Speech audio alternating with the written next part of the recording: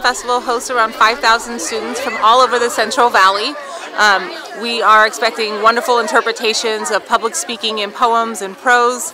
It's a great opportunity for the university uh, to host so many kids to get their first university or college experience and to just really grow their public speaking skills and enjoy uh, just being here and mingling with athletes and faculty and community members.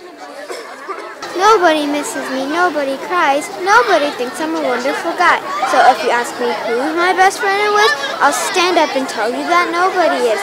But yesterday night I got quite the scare. I woke up and nobody just wasn't there. I called out and reached for nobody's hand in the darkness where nobody usually stands and we're just gonna be we are not gonna be afraid at all because we know our our part's super good right yeah and we know what to do and you're gonna have a great time and you're gonna you're, everybody's gonna clap for you and you're gonna feel so good and you're gonna say wow look what we did! Okay here we go. here we go. Come over here. Ready? Come. Here. Okay, one two three. First graders